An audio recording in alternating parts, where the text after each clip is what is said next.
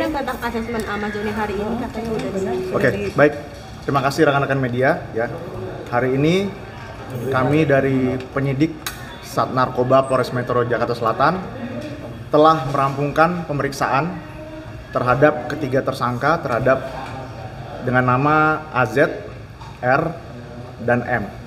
Kemudian dari hasil pemeriksaan tersebut, kami dari penyidik mengambil kesimpulan satu, bahwa ketiga tersangka tersebut ya tidak terlibat peredaran jaringan narkoba.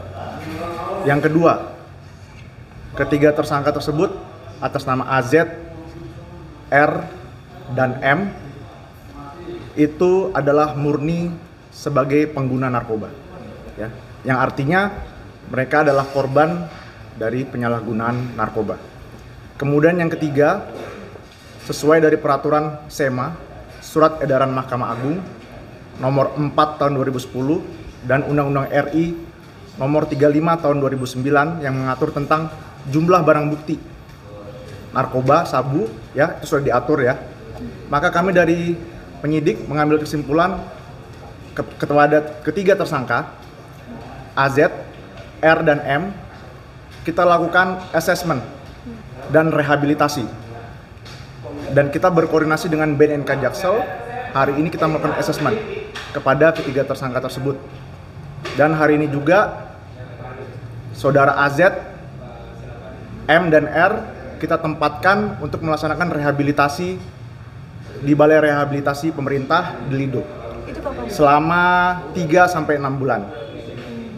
Itu saja rekan-rekan, ya. Ada yang mau tanyakan? Untuk dibawa ke Lidonya kapan? Sudah hari ini apa Tadi sudah dibawa ke Lido. jam berapa? Di jam Ya, berapa? Tadi sekitar jam 4 sudah kita dorong ke Lido.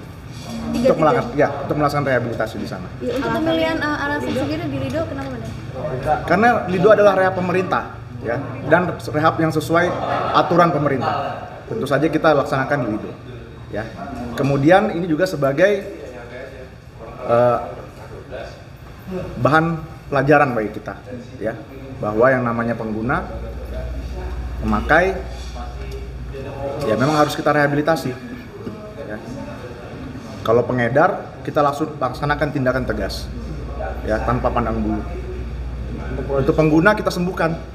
Namanya pengguna ya, orang yang terjerat, orang yang korban penyalahgunaan, ya kita bantu mereka dengan rehabilitasi agar mereka dapat kembali ke masyarakat dan bisa sembuh, tidak terjerat narkoba lagi. Untuk pengaman sendiri kan ini yang kedua kali ya bang. Ya. Eh, Kira-kira ada perbedaan nggak sih dari yang pertama sama yang kedua rehat atau Kalau yang pertama kan ganja ya. Kalau sekarang itu sabu ya. Tentu kita mengacu pada peraturan perundang-undangan saja ya. Kalau memang barang buktinya di bawah SEMA ya, kita akan lakukan rehabilitasi. Dan juga me- memang mereka ketiganya tidak terbukti. Tidak terbukti sebagai pengedar ya. Mereka hanya korban penyalahgunaan. Mereka hanya pengguna saja. Artinya proses hukumnya sendiri Untuk proses hukum tetap berjalan, ya proses hukum tetap berjalan sembari melaksanakan mereka melaksanakan asesmen dan rehabilitasi di balai reha- rehabilitasi di Lido. Ya.